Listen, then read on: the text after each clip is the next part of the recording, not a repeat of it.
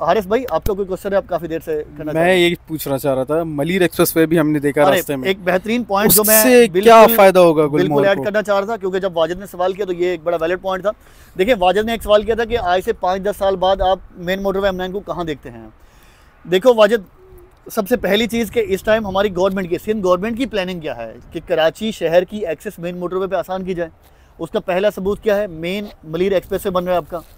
दूसरा आप university road पे आ जाएँ शरा फैसल पे आ जाएँ, मॉडल कॉलोनी वाले रोड पे आ जाएँ जो हमारा जनाब नहीं हुआ है। किसी भी रोड पे आ जाएँ, दरमियान में आपकी लेंस बन रही हैं। किस चीज़ की हैं? Red line, green line pink line, ये तमाम जितनी भी बन रहे हैं रूट्स, ये क्या पूरे शहर को भी लिंक करेंगे और पूरे शहर को मेन मोटरवे एम से भी लिंक करेंगे। तो गवर्नमेंट की अपनी प्लानिंग यही है कि भाई शहर को जो वर्टिकली बढ़ रहा है और वहाँ पर इस टाइम लिविंग फैसिलिटीज़ कम है। तो बेहतर है कि इसको ज़रा हॉर्जेंटली मूव कराया जाए। बाहर सोसाइटी प्लान हैं। साफ़ ज़रा वहाँ पे जो हमारी एक्सपेंशन हो रही है सिटी में बहुत सारी जगहों पर प्लानिंग के साथ है बहुत सारी जगहों पर अनप्लैंड है कि वो अनइवन ग्रोथ है और एक ही जगह पे बहुत ज़्यादा कंस्ट्रक्शन हो गई है जो हमारा इंफ्रास्ट्रक्चर है वो उस चीज़ को सपोर्ट नहीं कर पा रहा है। तो बेहतर है कि जो प्लान सोसाइटीज़ हैं आपकी इनमें आया जाए, अब ऐसा नहीं है कि अगले दो चार सालों में, पाँच सालों में कोई बहुत ज़्यादा डिफरेंस आ जाएगा।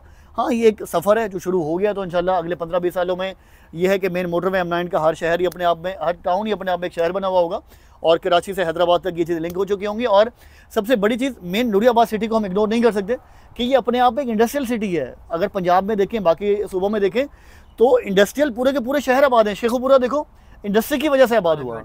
तो नूरियाबाद आपकी ऑलरेडी इतनी ज़्यादा इंडस्ट्री है सी पैक इंडस्ट्रियल जोन का हिस्सा बन गया। तो मुल्क के हालात अल्लाह करे, बेहतर हों तो मज़ीद चीज़ें यहाँ पर आएँगी। तो ये चीज़ें भाई